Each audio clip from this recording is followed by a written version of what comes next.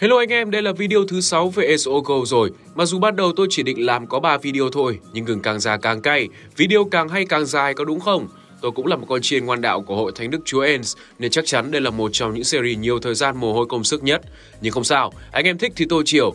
Ở hai video phân tích về Ace trước đó tôi đã nói rất nhiều về cuộc chiến giữa Nazarick và Tân Giới, giải thích rất nhiều về việc Ace chinh phục thế giới này. Nhưng cụ thể, Ace cùng Nazarick thực hiện quá trình đó như thế nào thì hôm nay tôi mới nói, anh em hãy theo dõi nhé. Để chinh phục cả thế giới, trước tiên, Ace cần chinh phục từng quốc gia, từng thế lực lớn nhỏ.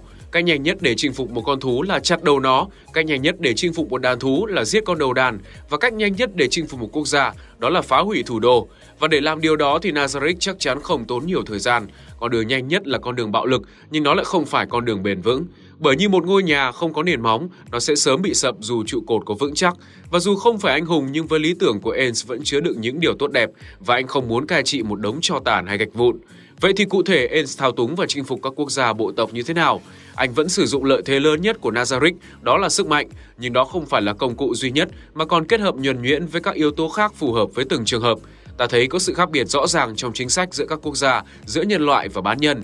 Các tộc bán nhân thường có hai điểm chung. Thứ nhất là quy mô bộ tộc nhỏ lẻ, cấu trúc xã hội đơn giản. Thứ hai, bán nhân thường là loài trí thông minh thấp, khát máu và đề cao sức mạnh, kẻ mạnh sẽ là người lãnh đạo. Những tộc này sẽ bị chinh phục bằng sức mạnh, bởi vốn dĩ đây là cách tốt nhất và nhanh nhất để họ quy hàng, rồi chuyện xây dựng lòng trung thành sẽ dần dần tính sau.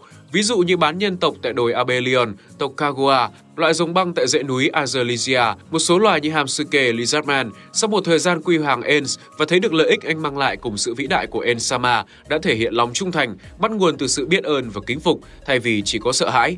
Đối với các quốc gia nhân loại, Ens lựa chọn việc gây ảnh hưởng phù hợp với từng quốc gia. Đầu tiên là đế quốc Baharut, quyền lực chỉ tập trung trong tay hoàng đế, chú trọng phát triển sức mạnh quân sự và ma pháp để gây hấn với láng giềng. En dùng chính sức mạnh quân sự để gây sức ép lên Zygnev, thao túng đệ nhất pháp sư, khiến đế quốc trở thành nước chư hầu dù cho họ chưa đối đầu trực tiếp với Nazarick và mới chỉ phải chịu rất ít tổn thất.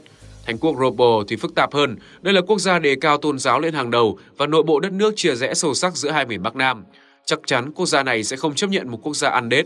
Ains đến ban phát sự vĩ đại của mình, lập ra Hội Thánh Đức Chúa Ens thông qua vô diện giáo chủ Nea kèm theo tăng cường sự chia rẽ trong giới cầm quyền để dễ bề thao túng. Sau Savoy 13, cư dân phía Bắc của Thánh quốc đã có thiện cảm đối với Ens và Vương quốc Pháp thuật. Hội Thánh Đức Chúa Ens trở thành tôn giáo có tầm ảnh hưởng lớn nhất đất nước với con dấu của giáo chủ Nea, được đặt cạnh con dấu hoàng gia. Đối với vương quốc người lùn có thế mạnh trong việc rèn đúc và giao thương, nhưng lại đứng trên bờ vực diệt vong, Ains giải cứu họ, lấy lại thủ đô, đảm bảo an ninh, tạo điều kiện cho họ phát triển thế mạnh rèn đúc, mở lại giao thương, còn riêng với vương quốc Riestais, vốn đã mục ruỗng từ sâu bên trong với một nhà vua nhu nhược có đức nhưng không đủ tài, giới quý tộc tham lam lộng quyền, cấu kết với tội phạm và kẻ thù vì lợi ích cá nhân, bộ máy chính quyền bị chia rẽ, tội phạm hoạt động mạnh mẽ, dân chúng lầm than. Chỉ vài tập anime không lột tả hết bộ mặt của quốc gia này, anh em nào đọc kỹ lại novel sẽ hiểu rõ. Ngay cả một quốc gia đế cao quyền lợi của nhân loại là trên hết như Pháp quốc cũng chọn ngầm ủng hộ đế quốc để tiêu diệt vương quốc Riestais vì sự phát triển của nhân loại. Ban đầu Ace định thao túng quốc gia này theo hướng gần giống với Thánh quốc, nghĩa là tạo ra sự hỗn loạn trong vương quốc Riestais, để rồi chính quyền hoặc người dân phải xin vương quốc pháp thuật can thiệp. Nhưng sự hỗn loạn ở đây sẽ tạo ra từ sự tranh giành quyền lực trong giai cấp thống trị, mâu thuẫn giai cấp thống trị và bị trị, bất ổn trong kinh tế và nhu cầu cơ bản của người dân như lương thực, nhân quyền, với sự trợ giúp đắc lực của công chúa Renner, một Mỹ Châu phiên bản vô cùng thông minh và độc ác, có khả năng diễn xuất xứng đáng 10 tượng vàng Oscar, kế hoạch diễn ra khá trơn tru cho đến khi thiên tài Philip có hành động hack não tất cả mọi người cực mạnh mà không ai kịp phản ứng gì. Kẻ duy nhất dám dẫm chân lên cờ vương quốc pháp thuật, đó lật đổ Ensama, cưới Albedo để lên làm vua. Chắc chắn phải có âm mưu gì đó sâu xa, chứ người bình thường không thể ngu một cách thần kỳ như thế này được. Ban đầu, Ens đưa ra chiến lược roi vọt hoặc kẹo ngọt đối với những mục tiêu của Nazarick, Hiểu nôm na là kẻ nào theo Nazarick thì sẽ được hưởng kẹo ngọt, được hợp tác với đối đãi tử tế. Còn ngược lại là roi vọt, đại khái là À, thì ra mày chọn cái chết. Chiến lược này vốn được áp dụng với những mục tiêu nhỏ lẻ, nhưng được Demius và Abedo phân tích và nâng lên tầm quốc gia. Ens đồng ý với quyết định cho vương quốc bay màu luôn để khẳng định sức mạnh và vị thế của vương quốc pháp thuật. Đối với những kẻ quy phục hay hợp tác, En sẵn sàng cho họ kẹo ngọt, ví dụ như đế quốc Baharut hay vương quốc người lùn được đảm bảo an ninh quốc gia, cư dân được sống yên ổn, nâng cao đời sống và hỗ trợ phát triển kinh tế. Quay lại trận chiến tại đồng bằng Kaze, việc En tàn sát là điều cần thiết để anh phô diễn sức mạnh cho cả hai bên, cũng như cả thế giới, chiến tranh nào mà không có đổ máu cơ chứ. Và cũng một phần tại ông Zygnev, tưởng mình thông minh đi xin En dùng phép mạnh nhất nên anh làm nhẹ quả siêu cấp ma pháp. Trước đó, nếu vua Raposa đệ tam và các quý tộc không cười nhạo Gazev và nghe theo lời ông, thì cuộc chiến đẫm máu này cũng đã không xảy ra. Rồi trong quá trình En xóa sổ vương quốc Riethais, anh cũng đã chỉ hoãn thời gian hết mức có thể, cũng như chọn ra một số đội quân yếu nhất có thể, ví dụ như một Dead Knight và một Dead Warrior, cũng như hành quân một cách chậm rãi theo một lộ trình nhất định nhằm tạo điều kiện cho dân vương quốc đi tị nạn sang các nước láng giềng, giảm thiểu thương vong. Chỉ đến khi thật sự cần thiết phô diễn sức mạnh, các thủ vệ tầng mới được lên sàn. Những trận chiến của Ace ngoài những thượng vòng cũng đem lại những mặt tốt đẹp. Ví dụ cuộc chiến tại Thánh Quốc tuy đẫm máu nhưng cũng đã chấm dứt mối hiểm khích dài dẳng hàng trăm năm giữa con người và bán nhân. Người dân Thánh Quốc được giác ngộ công lý thực sự là gì và bản thân họ cũng phải biết tự đứng lên đấu tranh vì công lý và bản thân.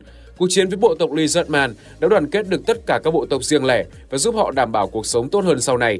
Việc giết White Dragon Lord và kiểm soát tộc Kagoa giúp đem lại hòa bình cho dãy núi Azalisia. Tóm lại, các quốc gia vùng lãnh thổ sau khi chịu sự ảnh hưởng của ENS đều có thể sống trong hòa bình và được tạo điều kiện phù hợp để phát triển nếu chấp nhận phục tùng hoặc kết giao với Anh.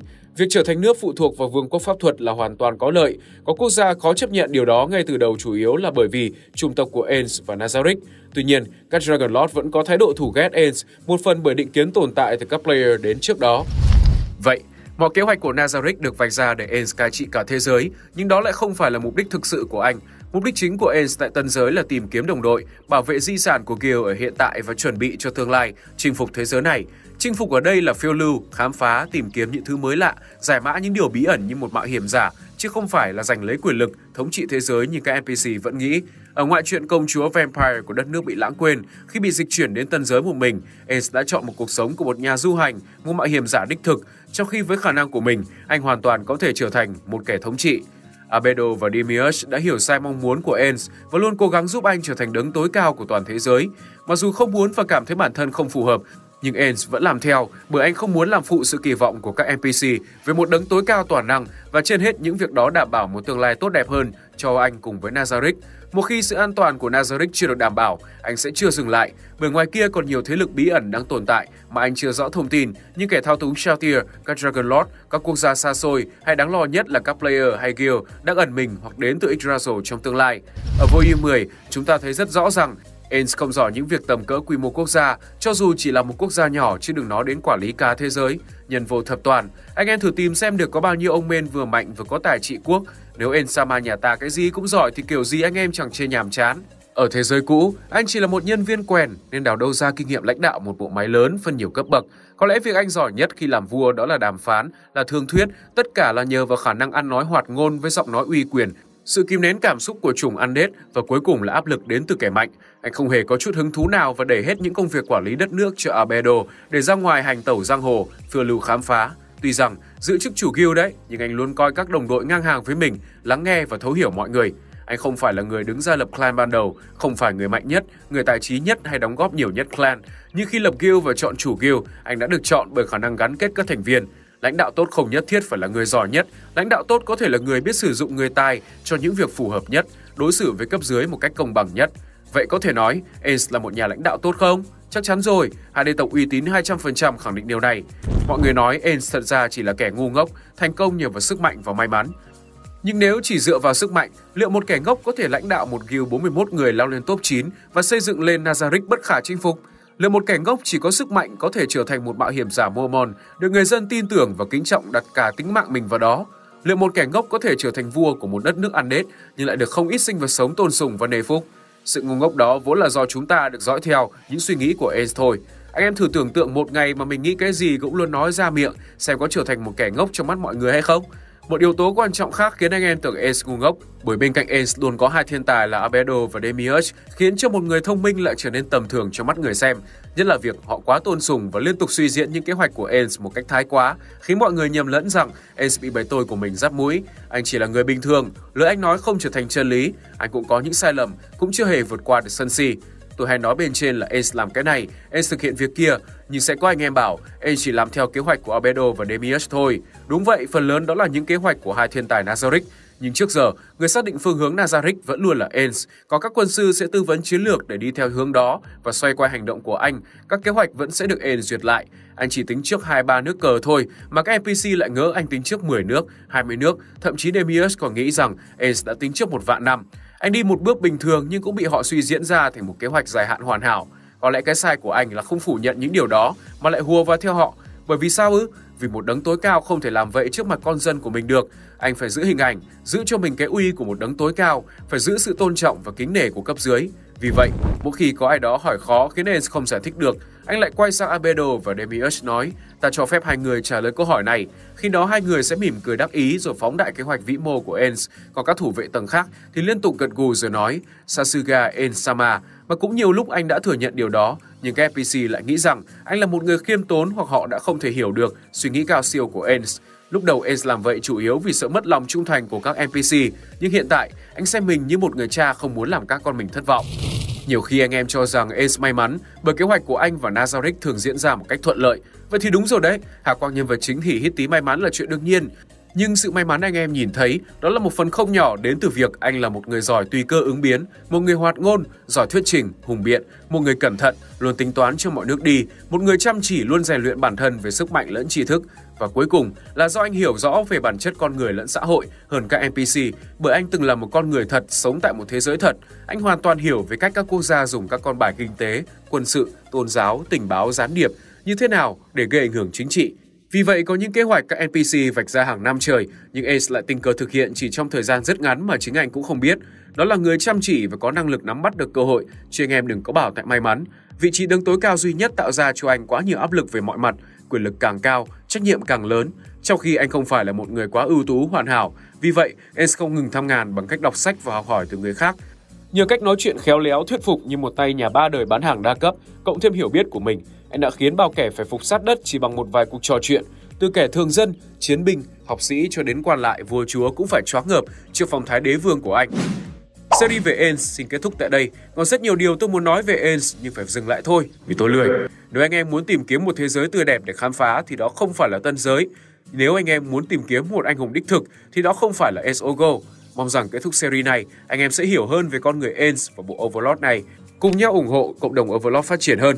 Giờ thì xin chào và hẹn gặp lại trên 2D Tổng. Ten ten ten. Xin chào anh em, chào mừng anh em đã quay trở lại với HD Tộc Anime. Tình hình là rất tình hình và vô cùng khẩn cấp anh em chú ý lắng nghe nhé. Hiện nay để chuẩn bị cho một năm 2022 để thành công và rực rỡ, HD Tộc Team tiếp tục tuyển thêm thành viên có kiến thức về các bộ Arifureta và sự trỗi dậy của anh Hùng Khiên. Anh em nào có thời gian và nhã hứng thì mạnh dạn inbox fanpage hoặc Facebook cá nhân tôi để dưới phần mô tả, hoặc liên hệ qua email rikasan47a.gmail.com để ứng tuyển nha. Cảm ơn anh em đã lắng nghe và rất mong nhận được thật nhiều thật nhiều nhân tài để tiếp tục sản xuất những video chất lượng phục vụ cho anh em.